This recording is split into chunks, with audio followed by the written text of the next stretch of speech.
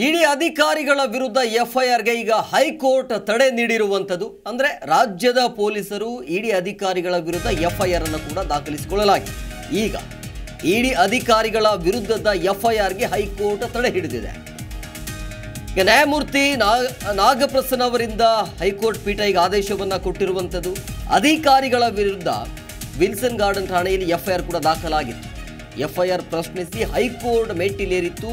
ಇಡಿ ಅಧಿಕಾರಿಗಳು. ಈಗ ಆ ಪ್ರಶ್ನೆಗೆ ಸದ್ಯಕ್ಕೆ, ಅಂದರೆ ಇಡಿ ಅಧಿಕಾರಿಗಳ ವಿರುದ್ಧ ಏನು ಎಫ್ ಐ ಆರ್ ದಾಖಲಾಗಿತ್ತಲ್ಲ, ಹೈಕೋರ್ಟ್ ಕಡೆಯಿಂದ ಈಗ ತಡೆಯಾಜ್ಞೆ ಇದೆ.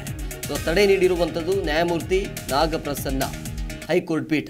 ಸೊ ಅಧಿಕಾರಿಗಳ ವಿರುದ್ಧ ವಿಲ್ಸನ್ ಗಾರ್ಡನ್ ಠಾಣೆಯಲ್ಲಿ ಎಫ್ ಐ ಆರ್ ಕೂಡ ಆಗತ್ತೆ. ಅಂದರೆ ಏನಪ್ಪ ಅಂತಂದರೆ, ಬಲವಂತವಾಗಿ ಹೇಳಿಕೆಯನ್ನು ದಾಖಲಿಸಿಕೊಂಡಿದ್ರು ಅಂತ ಕಲ್ಲೇಶ್ ಅನ್ನೋರು ದೂರನ ಕೊಡ್ತಾರೆ ಇಡಿ ಅಧಿಕಾರಿಗಳ ವಿರುದ್ಧ.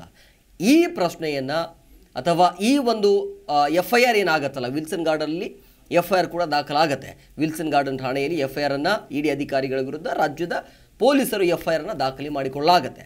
ಆ, ಅದನ್ನು ಪ್ರಶ್ನಿಸಿ ಈಗ ಹೈಕೋರ್ಟ್ಗೆ ಹೋಗಿತ್ತು. ಸೊ, ಅದನ್ನು ಈಗ ಸದ್ಯಕ್ಕೆ ಇವರ ಮೇಲೆ ಏನು ಎಫ್ ಐ ಆರ್ ಇತ್ತಲ್ಲ? ಇಡಿ ಅಧಿಕಾರಿಗಳ ವಿರುದ್ಧ ದಾಖಲಾಗಿರುವಂಥ ಎಫ್ ಐ ಆರ್ಗೆ ಹೈಕೋರ್ಟ್ ತಡೆ. ಸದ್ಯಕ್ಕೆ ಅದರ ಬಗ್ಗೆ ವಿಚಾರಣೆ ನಡೆಯೋದಿಲ್ಲ ಈಗ ಸದ್ಯಕ್ಕಂತೂ. ಬಟ್ ಈ ಪ್ರಕರಣ ಹೆಂಗೆ ಹೋಗುತ್ತೆ, ಯಾವ ರೀತಿಯಾಗಿ ಹೋಗುತ್ತೆ ಅನ್ನೋದು ಕಾದು ನೋಡಬೇಕು. ಇದು ಈ ರೀತಿಯಾಗಿ ಫಸ್ಟ್ ಟೈಮ್ ಏನಲ್ಲ, ಅಂದರೆ ರಾಜ್ಯದಲ್ಲಿ ಇದು ಪ್ರಪ್ರಥಮ ಬಾರಿಗೆ. ರಾಜ್ಯದ ಪೊಲೀಸರು, ಇಡಿ ಅಧಿಕಾರಿಗಳ ವಿರುದ್ಧ ಎಫ್ ಐ ಆರನ್ನು ದಾಖಲಿಸಿಕೊಂಡಿರೋದು. ಬೇರೆ ಬೇರೆ ರಾಜ್ಯಗಳಲ್ಲಿ ಆಗಿದೆ. ಬಟ್ ಇದು ಫಸ್ಟ್ ಟೈಮ್ ರಾಜ್ಯದಲ್ಲಿ.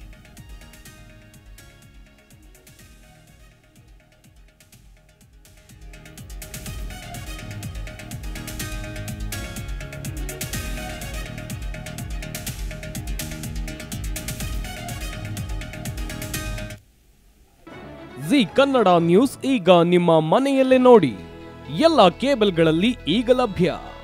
ಸನ್ ಡೈರೆಕ್ಟ್ ಇನ್ನೂರ ತೊಂಬತ್ತೆರಡು, ಜಿಯೋ ಟಿವಿ ಸಾವಿರದ ಮುನ್ನೂರ ಮೂವತ್ನಾಲ್ಕು ಯು ಡಿಜಿಟಲ್ ನೂರ ಅರವತ್ತೆರಡು, ಸಿಟಿ ಕೇಬಲ್ ಐವತ್ತೊಂದು ಜಿ ಟಿ ಪಿ ಎಲ್ ಹದಿನೇಳು, ಅಭಿಷೇಕ್ ಕೇಬಲ್ಸ್ ಎಂಟುನೂರ ಇಪ್ಪತ್ತೊಂದು, ರಾಕ್ ಲೈನ್ ಟೆಲಿಕಮ್ಯುನಿಕೇಶನ್ ಐವತ್ತೊಂದು, ಶ್ರೀ ಬಸವೇಶ್ವರ ನಂಬರ್ ಅರವತ್ತು. ವಿನಾಯಕ ಡಿಜಿಟಲ್ ನಂಬರ್ ಐವತ್ಮೂರು.